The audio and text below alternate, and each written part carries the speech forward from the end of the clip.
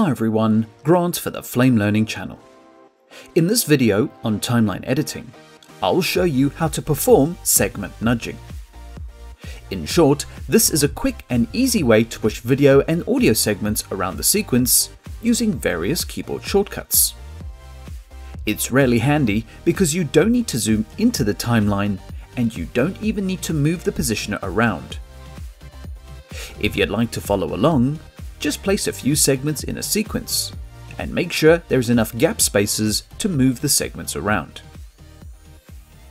Now you can nudge a selected segment horizontally or vertically and we'll examine both operations in this video. To incrementally move a segment horizontally, hold Shift-Alt and use the left and right arrows on the keyboard. This will move the segment by one frame at a time as long as there is space around the segment.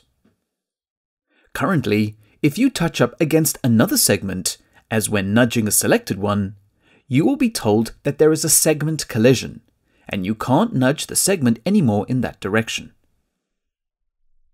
Now the Shift-Alt-Arrow keyboard shortcut always nudges a segment by one frame at a time. However, it is possible to set your own nudge increment using the calculator. Select the segment and call up the timeline calculator.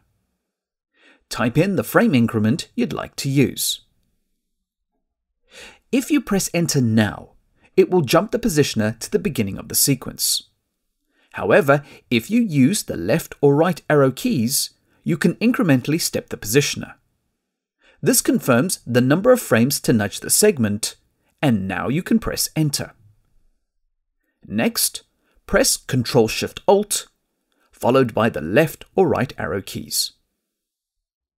So you can nudge a segment by any frame increment you choose. The frame increment remains with the Ctrl Shift Alt arrow keyboard shortcut until you change it. Now it is possible to do a multi-segment nudge with the same shortcuts.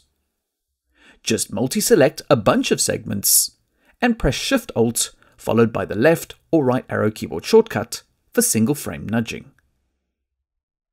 So that is the horizontal segment nudge. You can also nudge segments up and down between the video tracks. This can help with rearranging a layer stack or organizing the tracks within the sequence. Just select the segment, hold Shift-Alt, and press the up or down arrow keyboard shortcuts. Now if your segment is on the top video track, and you nudge it upwards, a new video track will be created. The same is applied to an audio segment if you kept nudging it downwards. Now what is very important to note is that this only nudges the segments between video tracks and not different video versions. So you can move to video track 1, 2, etc., but not between video version 1 and video version 2. Now the same rules apply when a segment is above or below the one you are nudging. If you try move a segment onto a track already occupied by another one, you will get the segment collision error and it won't move the segment. Understandably, there are no incremental adjustments for vertical nudging.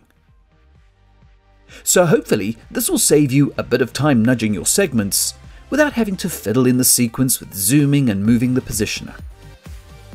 Don't forget to check out the other features, workflows and enhancements to the Flame 2019.2 update. Comments, feedback and suggestions are always welcome and appreciated. Please subscribe to the Flame Learning channel for future videos and thanks for watching.